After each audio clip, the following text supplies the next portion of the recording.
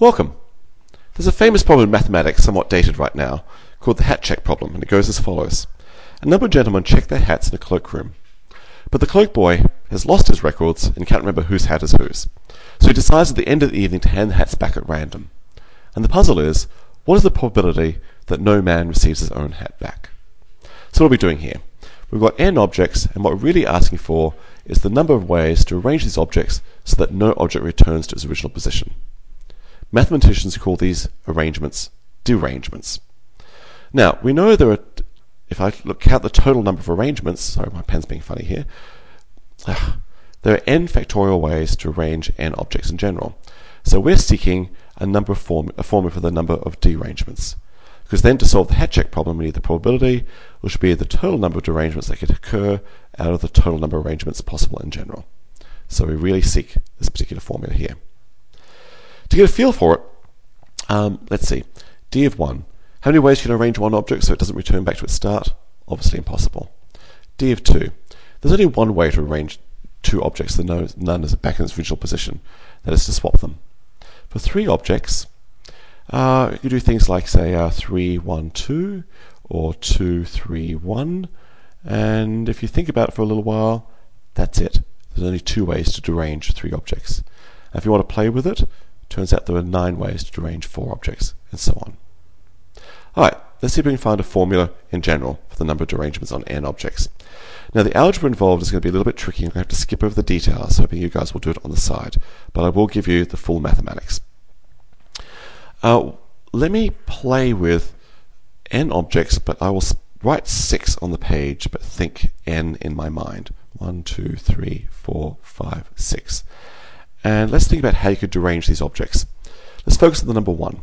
First of all, the number 1 has to go somewhere. It can go one of five places. So I am thinking of n, so the number derangement of n objects. And what I'm about to do, there's going to be five options, n minus 1 options for what I'm about to do next. Now, there are two possibilities now. Suppose one goes specifically to 4, or one of these five possibilities. 4 could either go back into 1's place, and I'm left with the task of deranging the remaining four numbers. That is, I'm left with of counting the number of derangements on the remaining two less objects. Or 4 does not go back into 1's place. It's forbidden to go there. And now to think for a moment. I'm now left with the task of arranging five objects with each of them having restriction 2 cannot go to 2's place, 3 cannot go to 3's place, 5 cannot go to 5's place, 6 cannot go to 6's place, and 4 cannot go to 1's place. A little bit of thought shows this is exactly the same problem as deranging 5 objects. So the number of ways to do that must be d of n minus 1. And there I have a lovely recursive formula for the number of derangements, which I could use with the starting two values to actually wade my way through the problem and count these things. A uh, little side note, it's actually interesting the number of arrangements and factorial actually satisfies exactly the same recursive formula. I bet, and here's one of my first little algebra exercise for the side, n minus 1 factorial plus n minus 2 factorial, all that multiplied by n minus 1 does in the end give you n factorial. Try it. Now, of course, even though it's the same recursive relation, it is a different form in the end because we've got different starting places. Number of ways to arrange one object is one, number of ways to arrange two, two objects is two. So beginning starting values gives a different set of uh, permutation values. All right. Now, the recursion formula I have here for the derangements is actually quite awkward. And here's my next piece of exercise, next, next algebra exercise. Folks have discovered in thinking about this that if you take the number of derangements, dn and subtract from it n times d of n minus 1, you can use this relation to see that this is exactly the same as the same the opposite of the same formula down one value. d whoops d of n minus 2. Sorry, it's very stupid. So that it, this is just a direct consequence of this recursive relation, so you need to play with this on the side. But the nice thing about this, it means that I can this next formula is minus 1 times the same formula, another value down. So I get another minus 1. And then I'm down dn minus 2 minus n minus 2 d of n minus 3. But that is the same with a minus sign introduced of one level down again. Minus 1 cubed d of n minus 3, da da, all the way down to minus 1, and you'll check the algebra n minus 2 of d, whoops, d of 2 minus 2 d of 1. But what is d of 2 minus 2 minus 1? Well, d of 2 is 1, d of 1 is 0, that's 1. So we've now discovered that d of n minus n, d of n minus 1 is minus 1 to the n minus 2. Actually, um, minus 1 to the n minus 2 is actually the same as minus 1 to the n. It just looks neater. So I'm now left with the recursive relation d of n is n uh, d of n minus 1 plus minus 1 to the n. And that turns out to be a little simpler to work with to find an explicit formula.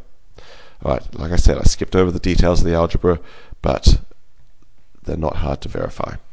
Alright, so let's use that recursive formula and see if we can get a formula for dn. Alright, I'll be very explicit. d of 3 is going to be 3 times d of 2 uh, plus minus 1 to the 3. Okay, so that's 3 times 1 minus 1. d of 4 is going to be 4 times that, 4 times 3 times 1, minus 4, plus minus 1 to the fourth. d of 5 is going to be 5 times that, 5 times 4 times 3 times 1, minus 5 times 4 plus 5, plus minus 1 to the fifth, minus 1. D of 6 is going to be 6 times all that. 6 times 5 times 4 times 3 times 1 minus 6 times 5 times 4 plus 6 times 5 minus 6 plus minus 1 to the 6 plus 1.